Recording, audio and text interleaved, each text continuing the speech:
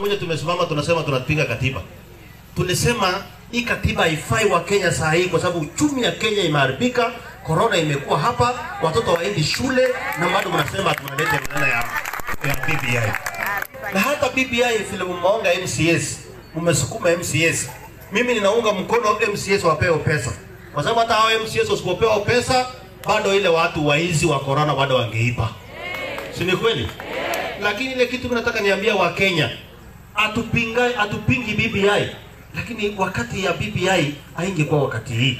Wakenya wengi wako na shida, watoto wengi wako nyumbani, watu wengi hawawezi kununua chakula, lakini wachache wale wanataka hiyo fiketi kubwa ya pale juu na kudanganya wananchi na mambo mengine, hapa ndio wanasukuma BBI.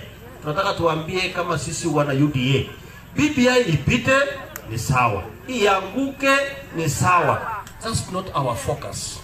Our focus is 2022 to make sure this country is equal to everybody. Tunaelewana? Mwenyezi Mungu awabariki sana. Karibu Mungu.